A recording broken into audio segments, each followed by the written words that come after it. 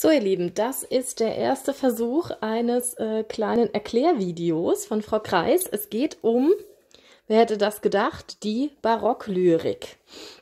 Wichtig äh, bei der Barocklyrik ist zu wissen, dass ähm, der 30-jährige Krieg quasi über allem stand, mit Tod, Schrecken, Leid und Grausamkeit, den die Menschen dort erlebt haben. Und daraus ist eine wunderbare ähm, Epoche, die vor allem für ihre Lyrik bekannt ist, äh, entstanden mit folgenden Vertretern.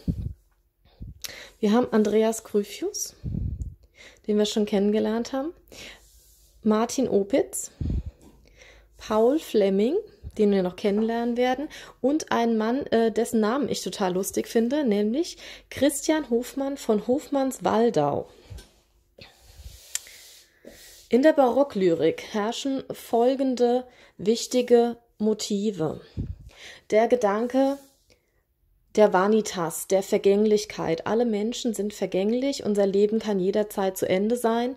Ähm, deswegen ist es ganz wichtig, dass man sich an Carpe Diem hält, nämlich nutze den Tag, solange das denn möglich ist, weil Memento mori, bedenke, dass du sterblich bist, auch über allem thront. Ähm, da wir uns vor allem mit der Lyrik beschäftigen, ähm, gibt es einen Aufbau, nachdem alle Barockgedichte aufgebaut sind, und zwar ist das das Sonett.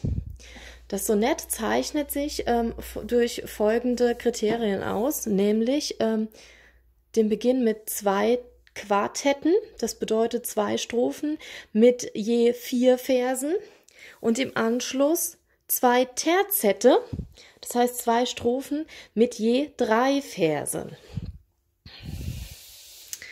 Ähm, warum wurde das so nett gewählt? Weil es natürlich ähm, eine gewisse Regelhaftigkeit vorgibt, ähm, was etwas war, was den Menschen vor allem in der Kriegssituation gefehlt hat. Ähm, wichtig bei den Sonetten in der Barocklyrik ist die sprachliche Gestaltung. Und das, ihr Lieben, soll jetzt eure Aufgabe sein. Was sind denn Besonderheiten in der sprachlichen Gestaltung? Was fällt euch auf?